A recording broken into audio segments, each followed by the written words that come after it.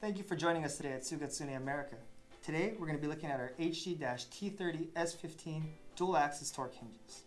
They're going to be a stainless steel dual axis torque hinge that can tilt 0 to 200 degrees and swivel or rotate 360.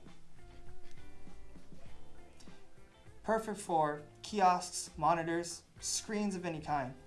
Today, with COVID-19 safety regulations, more and more people are turning to kiosk ordering or ordering on screens.